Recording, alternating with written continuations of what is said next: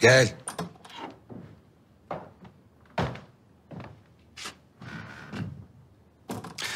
Nasuh Efendi bizi Rüstem ile yalnız bırak.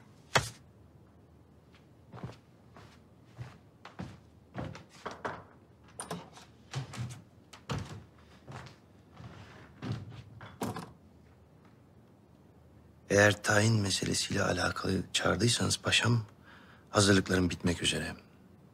Teke sancağına haber saldım. Bugün yarın yola revan olurum.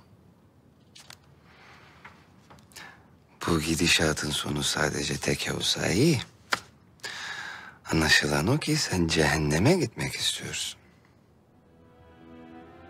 Bağışlayın Paşa Hazretleri ama ne söyledin?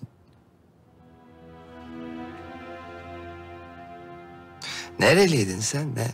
Nerede doğdun? Hırvatım ben Paşa Hazretleri. Butomir'de doğdum. Demek Butomir'den getirdiler seni payitahta. Yanlış hatırlamıyorsam da baban domuz çobanıydı değil mi? Doğrudur Paşa Hazretleri. Lakin bir hatayı düzeltmeme müsaade edin. Beni kimse almadı. Ben kendi arzumla geldim. Kaç yaşında? Dokuz. Dokuz. Demek sen dokuz yaşında kendi arzunla geldin payitahta öyle mi? Sen kimi kandırıyorsun be?